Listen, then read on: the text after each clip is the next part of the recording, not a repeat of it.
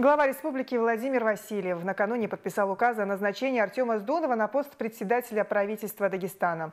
Документ опубликован на официальном сайте правительства и уже вступил в силу. Избранный председатель правительства поделился планами на будущее на встрече с журналистами. Артем Сдонов отметил, что предстоит сформировать эффективный аппарат. Также впереди большая работа по привлечению инвесторов в республику.